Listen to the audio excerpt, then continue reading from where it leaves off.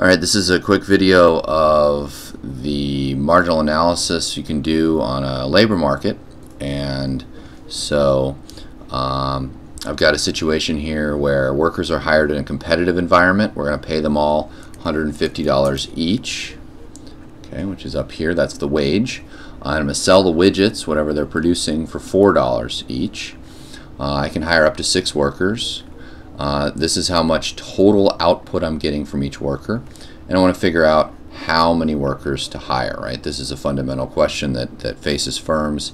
Pretty good question for all businesses, whether you're Walmart or just a, you know, a, a, landscaping firm looking to hire an additional worker. So remember, profit maximization in, in microeconomics is always I'm going to hire up until or I'm going to do something up until the marginal cost equals the marginal benefit. So in this case, it's workers. The marginal cost is going to be the wage, and it's not going to change. In, in this example, it's 150. It could be something else, and something else. And then uh, the marginal benefit is the additional benefit I get from hiring each worker. And so what that actually is is the marginal revenue product of labor. Okay, in other words, the additional revenue that I get from each worker, okay, that each worker produces. So to figure that out, first I need the marginal product of labor, and then to get this, this is just marginal product of labor.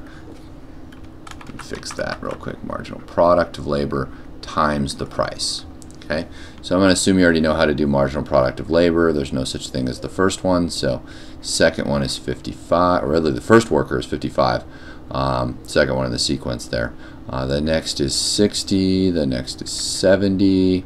The next is 50. The next is 40.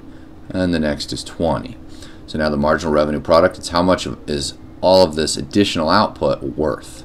Okay, so I'm going to multiply it by 4. Um, mm, okay. 55 times 4, I'm tired, is 220. 220. And the next one is 240. The next one is 280. 200. 160. And finally 80. Okay. So now I've got uh, now I've got everything to, to figure this out. So we can just kind of go through it. Um, one thing you can do is just look where the wage is, um, and that's gonna be right here. So I'm gonna hire workers right up until there, but you can also just go one by one. So the first worker, uh, I it brings me to or the firm two hundred and twenty dollars, and I pay them 150 so I'm going to hire them. The next worker I'm going to brings in $240. I'm going to pay them 150. I'm going to hire that worker. The next worker uh, brings me 280. I really like that worker. I'm going to hire that worker. I'm going to pay them 150.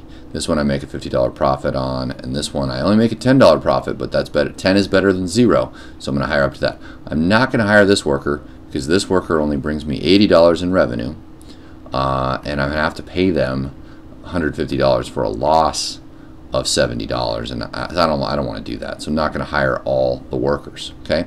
Now let's just say for example's sake that the government decides that that wage is too low and the government decides you know we're going to uh, say you now have to pay $200 per week if you're going to employ, employ labor okay?